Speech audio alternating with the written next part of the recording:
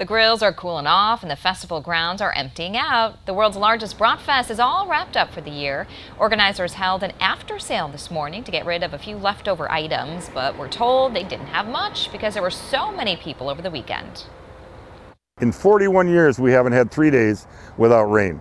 And uh, the community came out, everybody looked like they were having a great time. Uh, the musicians were absolutely amazing. And all of our vendors, our stages, our sound, um, I think uh, I could say this was the best festival we've ever had. The after sale was a way to raise additional money for the charities, and they sold out in one hour.